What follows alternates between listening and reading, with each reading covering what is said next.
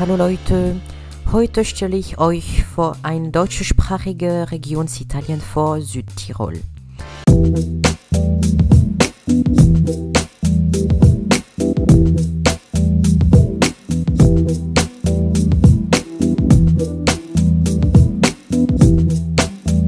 Südtirol hat 500.000 Einwohner bei einem Dichter von 72 Einwohner pro Quadratkilometer.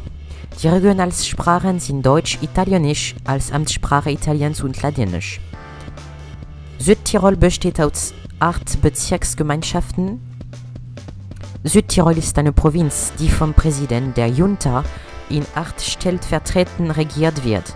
Vorsitzender ist Arno Compaccia. Die Stellvertreter der Junta sind nach Sprache verteilt. Fünf deutsche Assistenten, drei italienische Assistenten und eine ladinische Assistentin. Südtirol hat seine eigene Rat, der in den Bereichen Gesundheit, Umwelt, zweisprachige Ortsnamen, Bildung und vieles mehr zuständig ist. Die Südtiroler Hymne heißt Südtiroler Heimatland. Die Flagge ist weiß-rot mit dem Wappen in der Mitte, das einen rot-gelben Adler darstellt.